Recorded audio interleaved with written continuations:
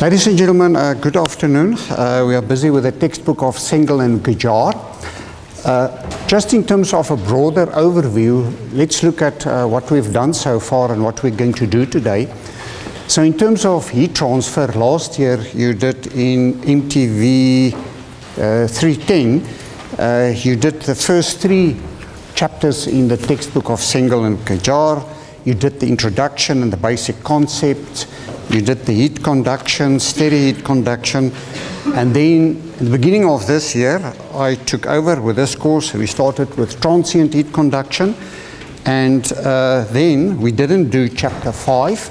Uh, in the place of chapter 5, we did some fluid mechanics. We looked at the derivation of the Navier-Stokes equations. And that course, in any case, CFD course, you're doing in, in a separate course.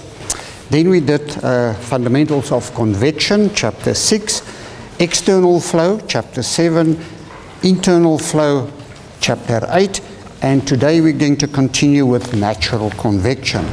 After Natural Convection, there's still a chapter on boiling and condensation, which we're not going to do in this course. We'll do it in the course of next semester. Then there's a chapter on heat exchangers that I'm going to do with you. That's very important. Then there are two more chapters on radiation heat transfer. And then lastly, there's a chapter on mass transfer that we're not going to do in this course, but we, which we will do in the next course next semester. So let's continue with natural convection. And let's just link natural convection with, with, chapters 7 and 8. Okay, in chapters 7 and 8, what I brought to your attention when we started with those chapters is that it is actually all about determining the Nusselt number.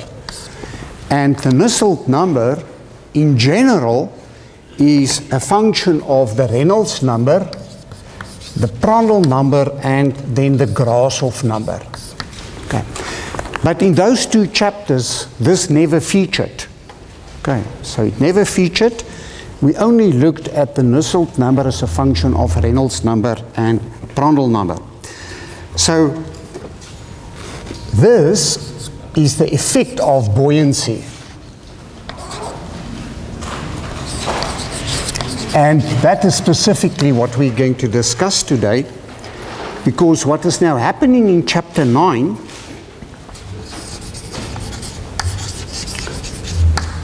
where previously that term was not taken into consideration, in chapter 9, what we're going to do is we are going to take it into consideration. But firstly, without the effect of the Reynolds number, so we're going to say the Reynolds number is zero, there's a Prandtl number and there is a Grashof number okay, with some of the work. But then we are also going to see that there are actually problems where the Nusselt number is not only a function of now the Prandtl and the Grashof number, but also a function of the Reynolds number, the Prandtl number, and the Grashof number, all of them together.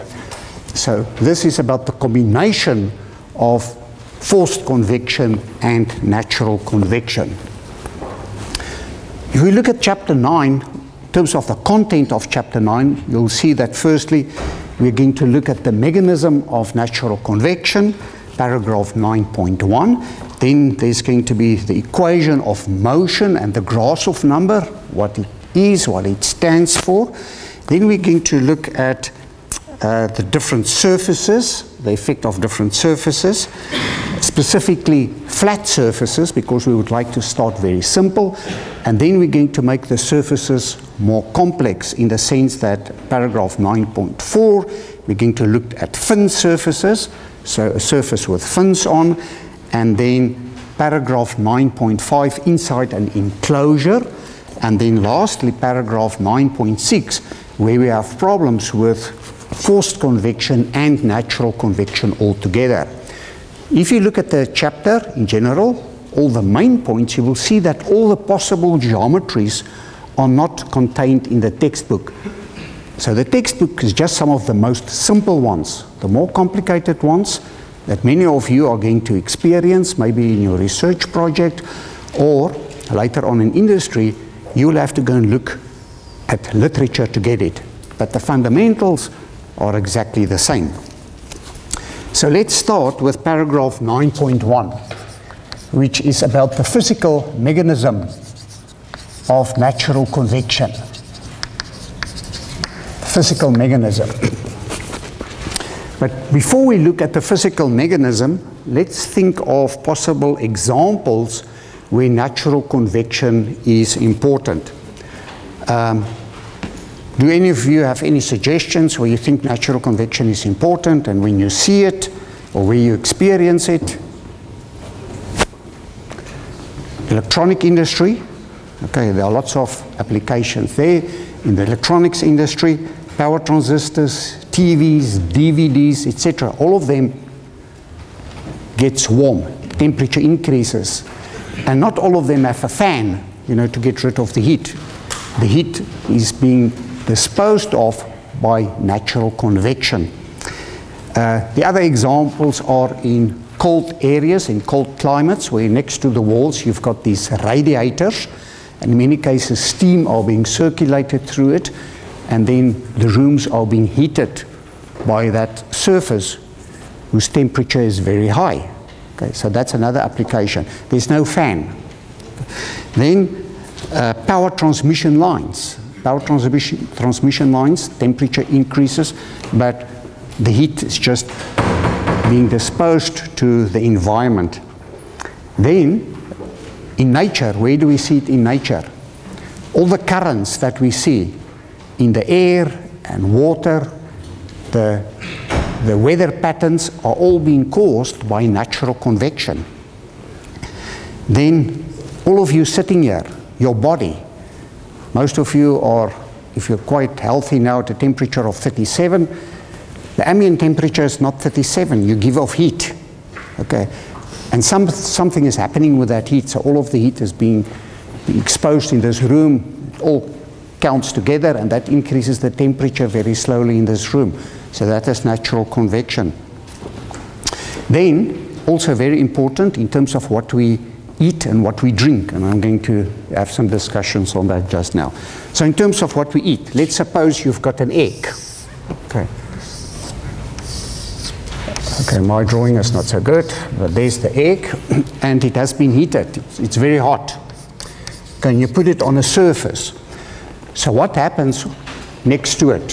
What will happen next to it is that this surface is going to increase the temperature of the air by conduction. Okay. And now that air molecule or control volume, if its temperature increases, its density becomes less. Okay. If its density becomes less than that of the surrounding air particle, it will move up. So what we have is we generate a flow field that typically will do something like that.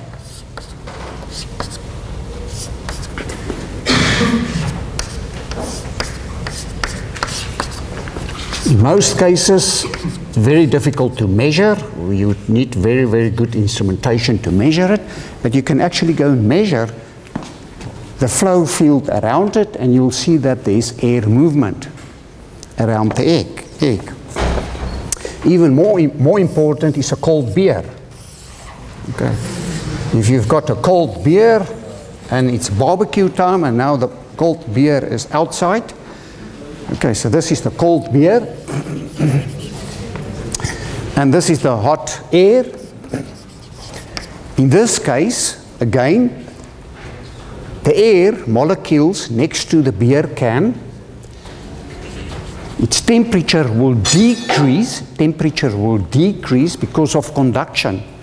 If its temperature decreases, the density increases, and the result would be that it would flow downwards.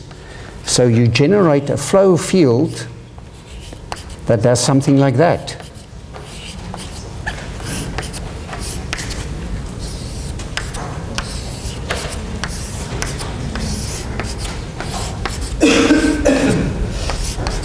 okay, and we can see that the heated flow field and the cooled flow fields are not the same. Okay? So in general, people say heat rises. Is that correct? That's right, it's not correct. Okay, so heat doesn't rise. What will rise is heated air. So heated air will rise, or heated water will rise, but heat doesn't rise. Okay. You all that buoyancy of, for example, a ship. Here's the ship, and here's the water. It's in the sea. And this is typically the water that is being replaced by it. And then you've said that the net force is equal to the weight of the ship, W, minus the buoyancy force.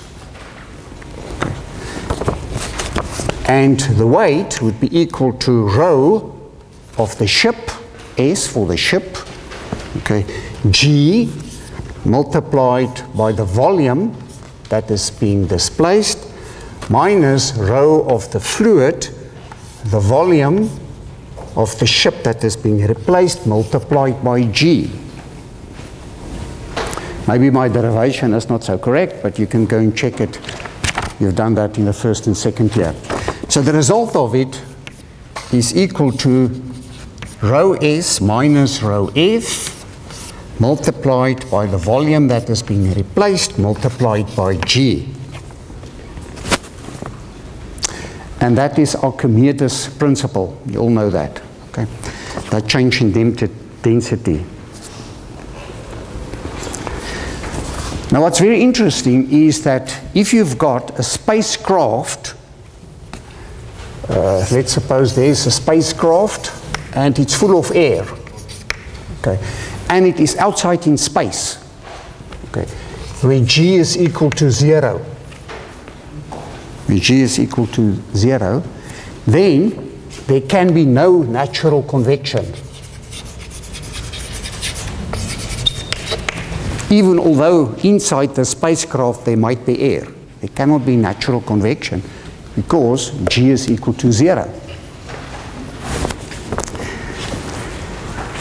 Now, this density distribution can be written in terms of temperature differences.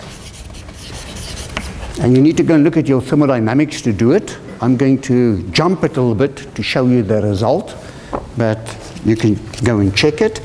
And it is being written in terms of what is called the volume expansion coefficient. Volume expansion coefficient. And this volume expansion coefficient is equal to B, B beta, and that is equal to 1 divided by, and take note, this V I'm putting in here is not the uh, dynamic viscosity, it is specific volume, small v, for specific volume, multiplied by partial dv dt at a constant pressure, and that is equal to 1 divided by rho, partial d rho dt at a constant pressure, and the units is 1 divided by Kelvin. And if you do that, you can actually go and show that beta is approximately equal to 1, uh, to minus 1 divided by the density multiplied by the change in pressure divided by the change in temperature. And that is equal to minus 1 divided by rho.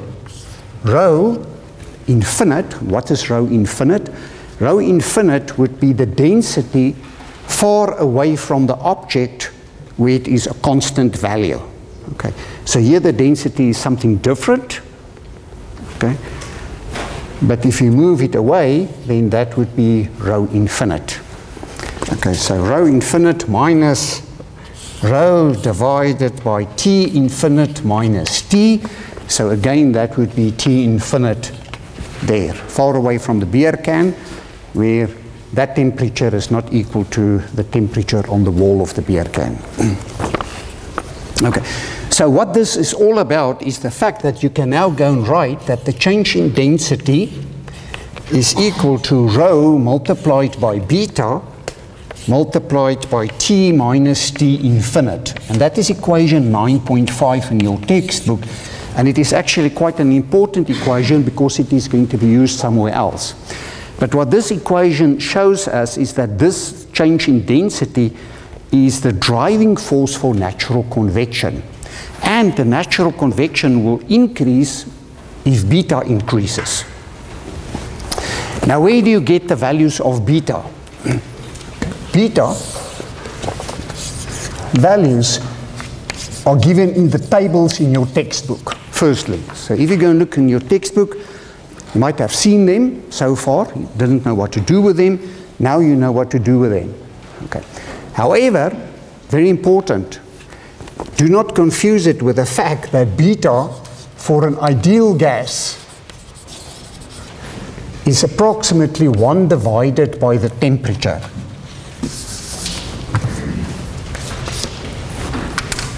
And this temperature, of course, must be in Kelvin. So, if you do a few calculations and you work with air, then you can make this approximation very quickly, 1 divided by the temperature. However, remember it's an approximation. There are more accurate values available, and rather use them. But in some cases, you can do make this assumption. Okay, so if we now look at what happens with buoyancy in terms of next to a body, what determines this flow field? Right, now if you go and look at the fluid mechanics of it, what is important is that it is about the forces which are going to be in balance in terms of the friction forces and the buoyancy forces. Okay, so the friction forces and the body forces. How they, uh, the, not the body forces, the buoyancy forces.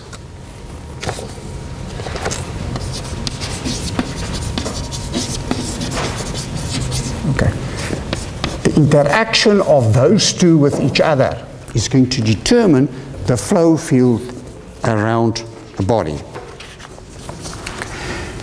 Now, these flow fields, there are instrumentation available that you can actually go and measure or determine the flow fields around bodies with natural convection. And that the instrumentation is called an interferometer meter. And what it does, it give you, gives you plots of isotherms. And these plots of isotherms are being determined by measuring the density around a body and they make use of the index of refraction to do that. So it is all about light and the result of that is, and I don't know if you've seen it, but in your textbook, for example, there are two examples of that. There's an example of a flat plate with laminar flow, and then you can see these lines like that. And it gives you an idea, a visual idea of what is happening around a body. Okay. And then there's another photo of also a flat plate. However, take note, they don't show the beginning of the flat plate. They just show a part of the flat plate and they show it in turbulent flow. And in turbulent flow, you'll see almost things like that. totally different, the flow paths. So that instrument can be used for eggs, beer cans, etc., to get an indication of what happens with a flow field around a body. If the flow fields are very, very small, the velocities are very small, then they are very, very difficult to measure. But in some cases, the velocities can actually be quite significant, and I'll get to it just now. Now and then, obviously, it can be determined. So paragraph 9.2 is about the equation of motion and the Grashof number.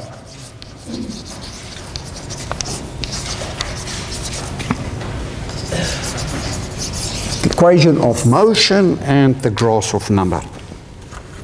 So the equation of motion in terms of natural convection starts by deriving it for the flow around a flat plate. And the flat plate is in a vertical position. And that is, in that direction, the y-axis, and in that direction is the x-axis. And this plate is being heated to a temperature Ts. So that is the temp temperature on the right-hand side of the plate. While around it we've got a stationary fluid with a velocity u which is equal to zero and we've got a temperature and a density around it. So that is what is happening around this plate. Okay, now what will be shown is that, firstly, the boundary layer is going to develop because this flow field, as we can see here, and you've done external forced convection, there must be a boundary layer. Do you agree? Okay. Now the boundary layer in this case is going to look a little bit different. It's going to have something, a profile like that. Okay. So next to the wall, the velocity must be equal to zero, but we've got flow there. And as it goes further and further away, the velocity again somewhere must be equal to zero. So the velocity profile looks totally different than, for example, the velocity profile through a tube. So there is u as a function of x, velocity profile like that. The temperature profile, however, okay, remember temperature is not a vector, so we're going to use the distance of a line to show the value of the temperature. Here the temperature is going to be very high if it's a heated plate. Okay. That is the temperature. And it is going to decrease in that direction. So there is the value of the temperature there. And we're going to have a temperature distribution, something like that.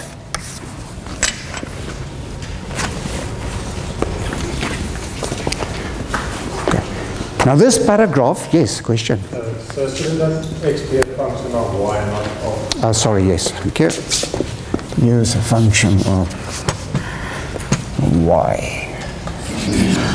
You could just check in your textbook. I'm not sure if maybe they've used x in that direction and y in that direction. Did they do it like that or not? Okay, doesn't matter. Okay. Okay, so, and that is then the temperature distribution. So that is temperature then also as a function of y. If you just look at it, does it make sense to you? Is that what you would expect? I think so, yes. Right. Now, of course, as you know by now, if we want all the equations, we need to have a control volume somewhere. And let's do that. Let's suppose here's our control volume.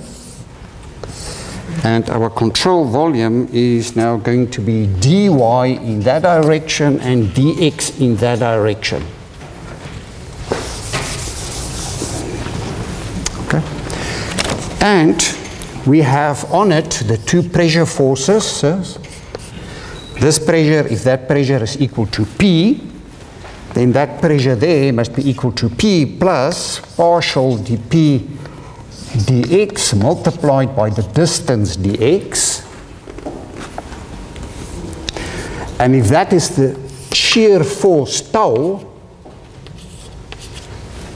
okay, then that must be the shear force in the opposite direction of tau plus partial d tau dy multiplied by dy.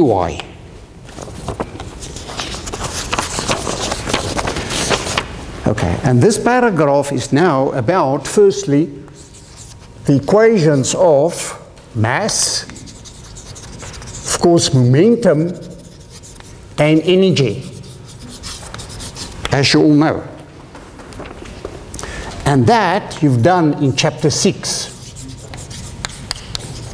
So in chapter 6, you have derived the equations of mass, momentum, and energy. Now in those equations, that one and that one is not going to change. The only thing that needs to be modified is the momentum equation because previously in the momentum equation, buoyancy forces were not included in the derivation.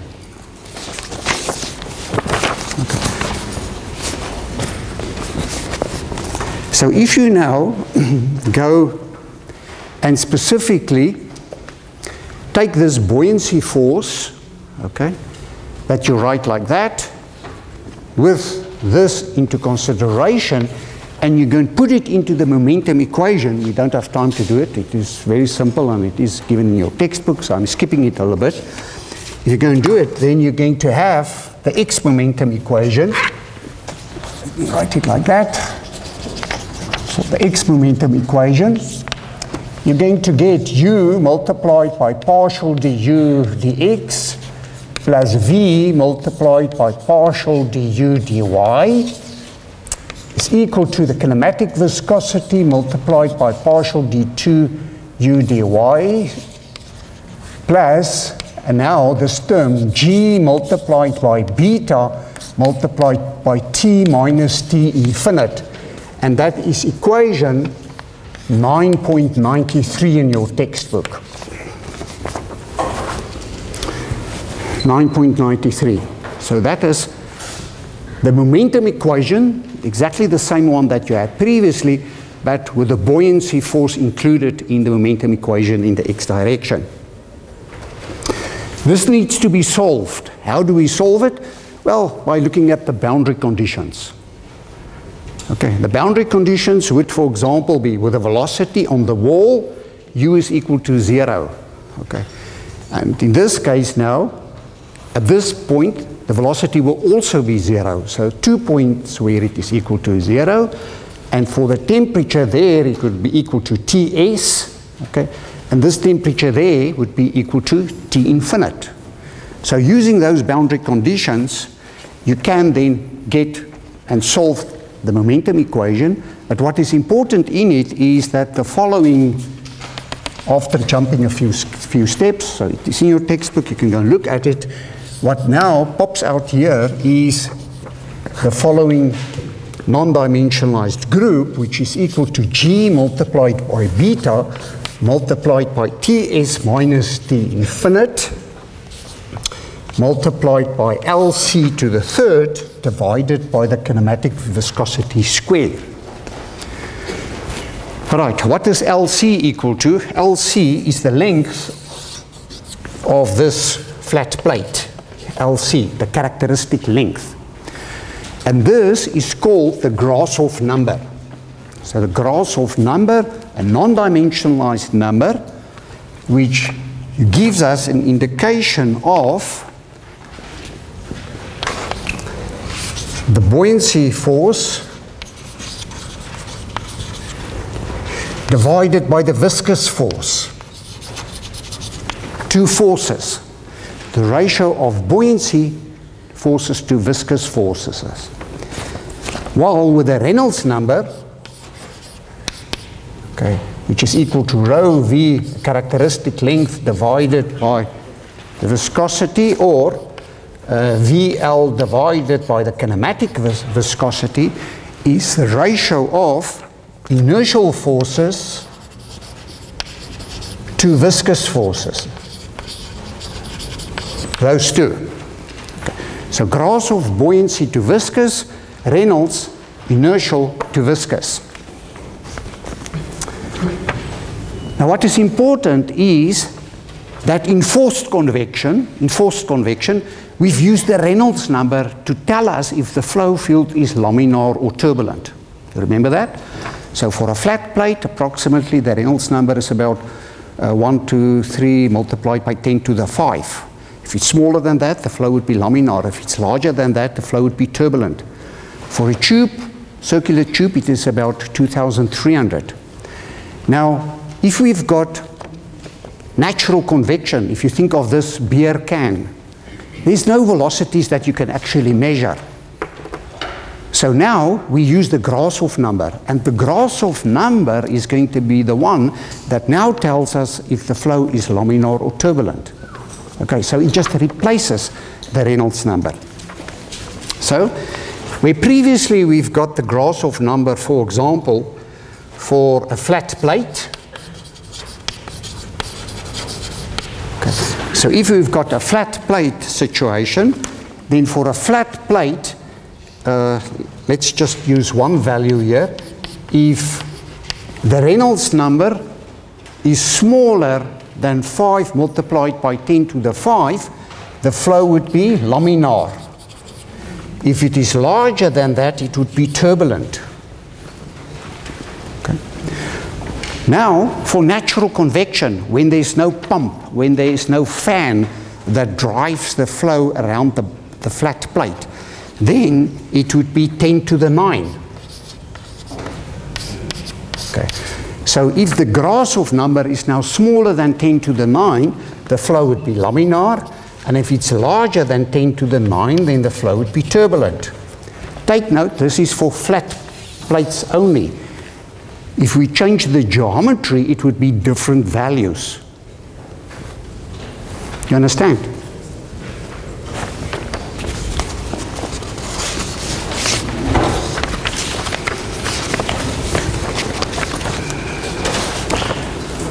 Okay, now look at the following interesting case. Let's suppose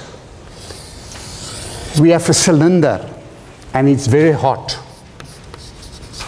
Very hot cylinder. And we just leave it in the air. Okay. What is now going to happen is we're going to have the buoyancy forces that develops around it and it is going to develop a flow field like that. The velocities would be very small in value, be very difficult to measure, specifically if the temperature difference between the hot and the ambient is not very large. Okay, so that is the one type of problem. Now, let's look at the opposite one. We take exactly the same sphere, which is hot, and we put a big fan here. Okay. What is going to happen now? Now we're going to have the flow around this sphere, the flow field, doing something like that. You agree? Okay. So this we call natural convection. Okay. This one is called forced convection.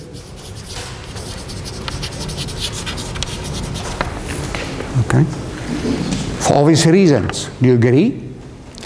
Now, let's look at the case where you start making this fan smaller and smaller or not really the fan itself, but the flow field that it generates, you start making it smaller and smaller. What is now going to happen? We are going to get us to a situation where this flow and that flow is going to, to combine. So, again, take note, there's my fan now. Take note, it's a small one. small fan. So it can't produce a lot of air. And now, for exactly the same sphere. What is now going to develop is a flow field that's going to do something like that.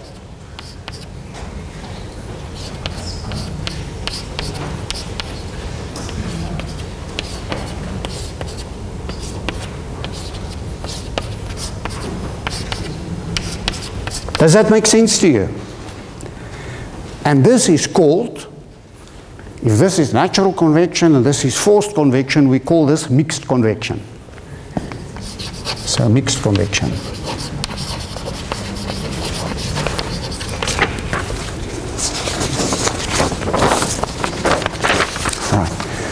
Now, that is now great if I tell you this, but what you would like to know is, but when is which one when? When do I have forced convection?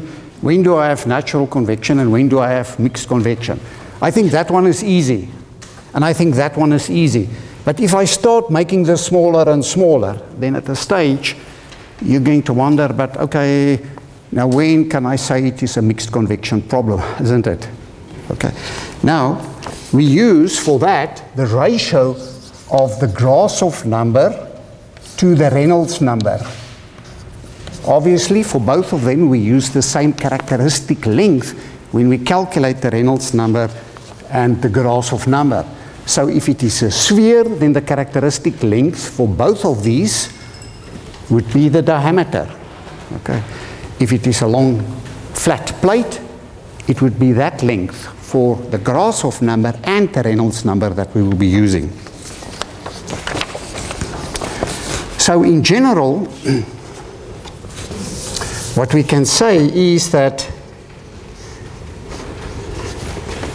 if we've got the ratio of the Grashof number divided by the Reynolds number square, if it is larger than 1, much larger than 1,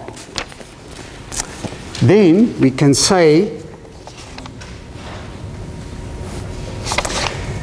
that the inertial forces are negligible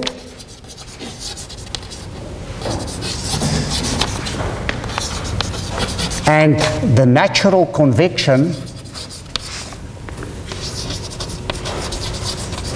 dominates.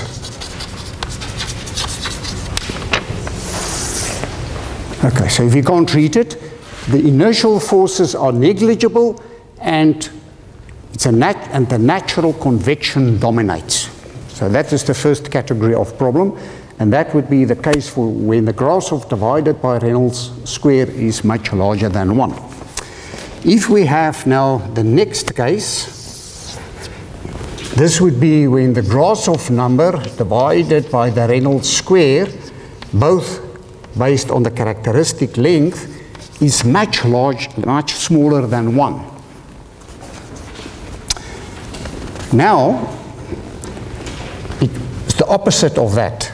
Okay, so the inertial forces, uh, inertial force dominates. Okay, and the buoyancy forces, uh,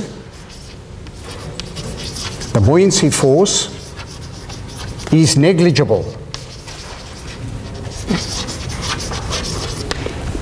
Okay. The inertial forces, the forces dominates and the buoyancy force or forces is negligible. Of course, there's not only one because at every control volume there's more than one. Okay. And then the last category would then be when the Grashof number divided by the Reynolds number square is approximately in the order of 1. What we now have is that both the inertial forces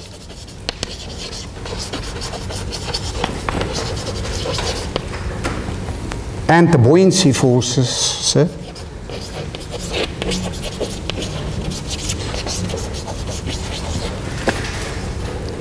are equally present.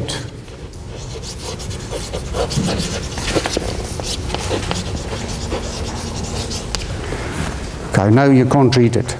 Both the inertial forces and the buoyancy forces are equally present. They're approximately of the same magnitude.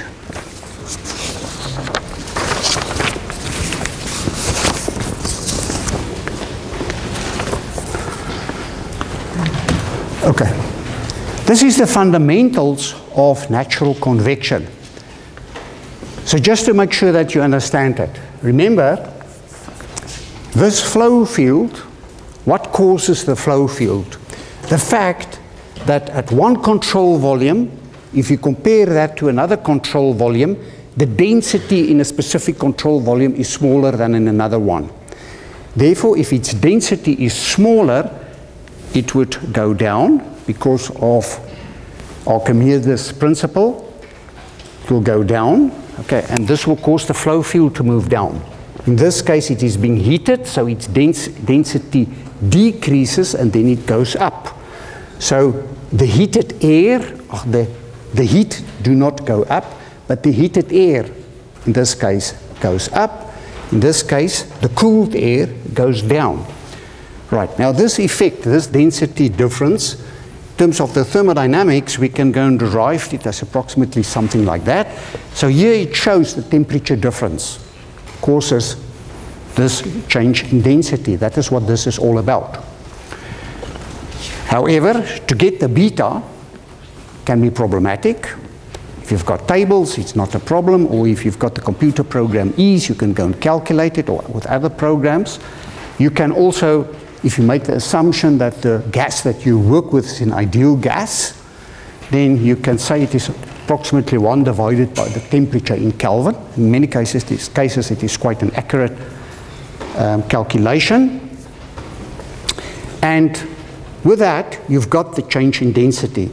If you now go, go and look at what happens on a flat plate, from a fundamental point of view, there will be a boundary layer that develops. However, this boundary layer is different than that previously, because previously, the boundary layer would, in this case, increases something like that. If this fluid also goes in this direction, that velocity is equal to zero, and then it will increase, or it will look something like that. So in this case, we've got a boundary, boundary uh, hydrodynamically, in which we've got a hydrodynamic boundary layer, and somewhere in it we've got a maximum for the velocity. Okay, so it increases to a maximum, and then it goes to zero. Here is the temperature on the wall. The, the air, if it is air flowing around it, that temperature would be equal to Ts, that of the plate, and then it would decrease to that of the ambient temperature. Remember, this is not zero, except if it's zero Kelvin. Okay. So this is typically how, it's look, how it looks like. Now, if we go and look at the control volume at all the forces, we can derive from first principles the mass equation of uh, continuity, momentum, and energy. We've already done it in chapter 6. It's a lot of work to do it, so we're not going to go through it again. But in that is the momentum equation, and previously we did not take into consideration the buoyancy force. Buoyancy force. So if we go and do it now, then that term starts appearing, and if we get to the equation, we can actually non-dimensionalize the equation, and this term now appears, and this is the term that drives natural convection problems. Because it is the ratio of the buoyancy force divided by the viscous force. So in natural convection problems, we are going to use this criteria to determine if the flow is laminar or turbulent, because usually we will not have a Reynolds number. So in most cases, they're not going to give you a velocity or a mass flow, because you don't have it. Okay. So therefore, we use this criteria to determine if the flow is laminar or turbulent, where in forced convection, we've used the Reynolds number. The Reynolds number, which is the ratio of the inertial forces to the viscous forces. So, for a flat plate, for example, if we've got flow over a flat plate and there's forced convection, there's a pump or a fan, then we can calculate the Reynolds number, and then if the Reynolds number is smaller than 5 multiplied by 10 to the 5, the flow would be laminar. If it is larger than that, it would be turbulent. However, if there's no forced flow over it, then we've got natural convection. And then we can go and calculate the Grashof number. If the Grashof number is smaller than 10 to the 9, the flow would be laminar. If it's larger, it would be turbulent. So this gives us the three possibilities for the flow field. Either totally natural convection, okay, nothing is forced around it, it is just the natural flow. Opposite to forced convection, where the flow is forced around it, and the effects of natural convection is negligible. In the third category, where both of them starts playing an influence now. And in the, this, of course, in some cases, this, if we start making this smaller and smaller, then this would influence the flow field. So if this becomes smaller and smaller, then the flow field will start moving up like that one again. So it will change. Now, when and how do we determine which flow field we have? Well, with this ratio of the Grashof number divided by Reynolds number square, if it's much larger than 1, we've got natural convection. If it is much smaller than 1, it's forced convection. The order of magnitude is approximately equal to 1, we have mixed convection. Question? So what would be considered approximately 1? Well, it is like, what do you consider as a goal to be beautiful? it is, it's one of those subjective things where there's not a good answer. Okay, so. In many cases in engineering, there's not a good answer. Okay, it is something that determines that is also being determined by the circumstances. It, it, it, is, it, will, be, it will depend on it will depend on how important is your calculation? What will the effect be of it? In many cases, you just need to know an answer approximately. And remember, with many of the heat transfer coefficients, most of them are not even accurate to plus or minus 20%. So you must in many cases know this is approximately the answer. It's better than nothing. Okay. However, however, and that is the thing, if you are in, involved in where you develop a new product and you're competing against that of others, then that would start becoming very, very important. Okay, okay. ladies and gentlemen, thank you very much.